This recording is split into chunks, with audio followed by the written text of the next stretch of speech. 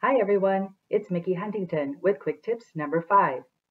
Everyone reacts to stress differently, and today's focus is on staying well and mental health resources to help manage stress and anxiety.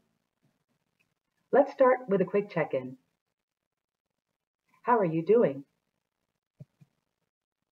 In addition to school, work, family, and other responsibilities, it's helpful to set aside time to take a break whether it's just for a minute or two with some deep breaths or a little longer.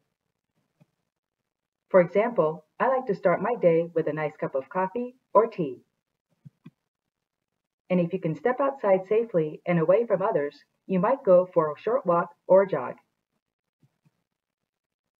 Texting a loved one or someone you haven't caught up with in a while is another idea.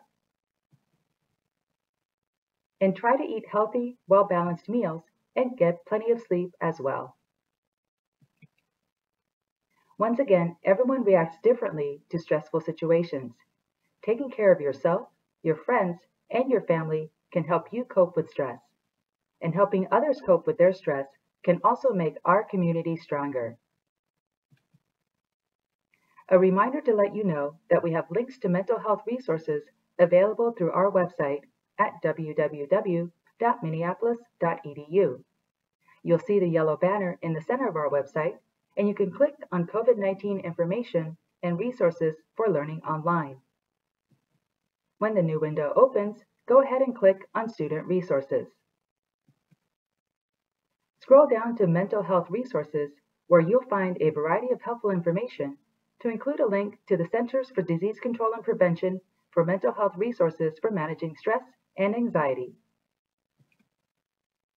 They offer a list of things you can do to support yourself, such as take breaks from watching, reading, or listening to news stories, including social media.